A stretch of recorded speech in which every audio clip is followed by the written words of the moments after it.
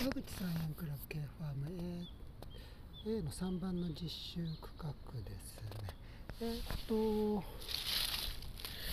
サニーレタスがあのだんだん茎が伸び出してきてますね。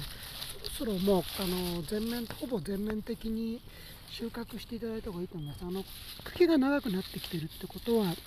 そろそろ花芽が突き出す頃なのでそうすると硬くなって食べられなくなってしまいますのであの全面的に収穫していただいた方がいいと思います。でパクチーはこれ間引きをしていただいたんですかね、まあ、こういう状態で少し株間が広がってきたのでこれであのこのまま収穫してああの成長を見守ってっていただければというふうに思います、えー、大根はまあ今あの根が1センチぐらいに太ってきてますかね。ちょっとこの辺が混み合ってるので、混み合ってるところは間引きして、あの1箇所1本にあのするようにしていただいた方がいいと思います。あと草が生えてきてるので、あのこういう風にあの大根の周りにあの生えてる草をあの取るようにしていただいた方がいいと思いますね。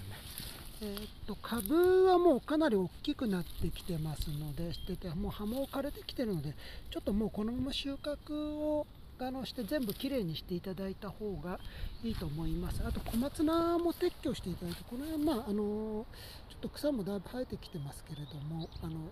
全面的にきれいにしていただいた方がいいかなというふうに思います。